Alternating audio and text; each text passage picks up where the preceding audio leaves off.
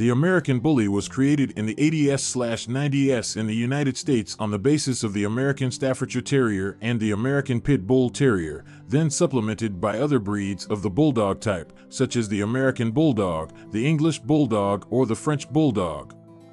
The idea to create this breed of dog comes from Dave Wilson and Carlos Barksdale, founders of the world-famous line Razor's Edge Pit Bull.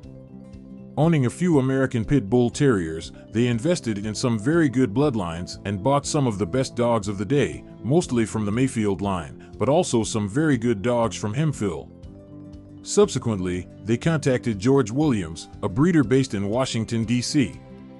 They purchased the dog Diablo from him, and this purchase marked the beginning of the Razor's Edge line.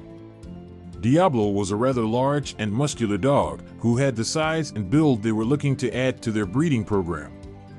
Indeed, Dave Wilson's intention was to create a breed of short, stocky dogs. His line must have had thicker legs and bigger heads than other pit bulls. He also wanted squarer and shorter muzzles. Thus, the line of Razor's Edge was similar to the traditional pit bull, although it was less sporty and lacked the same drive.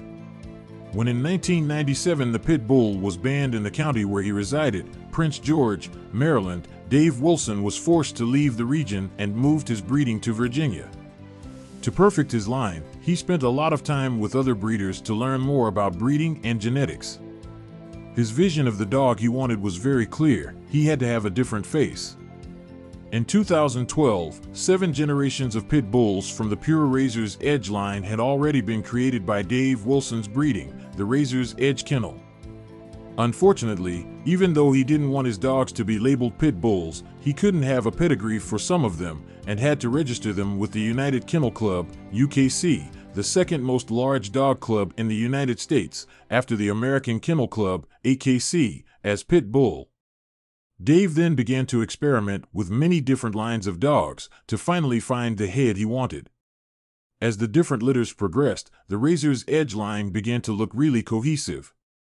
The dogs' heads were quite large, but he also wanted the bones to be thicker.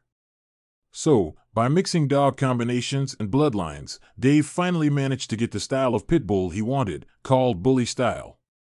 The dogs were small, with large heads, broad chests, short muzzles, large bones, and short backs, but still within the United Kennel Club, UKC, and American Bully Kennel Club, ABKC, standard.